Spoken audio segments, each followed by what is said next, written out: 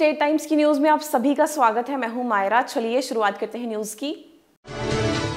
केंद्रीय गृह मंत्री अमित शाह की तीन जनसभाओं के बाद थमा पहले चरण के चुनाव प्रचार, विपक्ष ने भी आखिरी दिन की लोगों से वोट देने की अपील। धारा 370 अब नहीं आ सकता। वापस अमित शाह बोले 370 अब इतिहास। अमित शाह ने विपक्षी दलों पर साधा निशाना, नेहरू, गांधी व अब्दुल्ला परिवार पर लगाए आतंकवाद फैलाने के आरोप।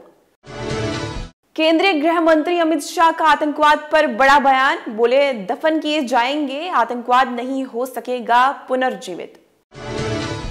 देश भर की तरह धूमधाम से हुआ जम्मू में भी श्री गणेश विसर्जन, श्रद्धालुओं ने बप्पा से की अगले वर्ष फिर आने की प्रार्थना।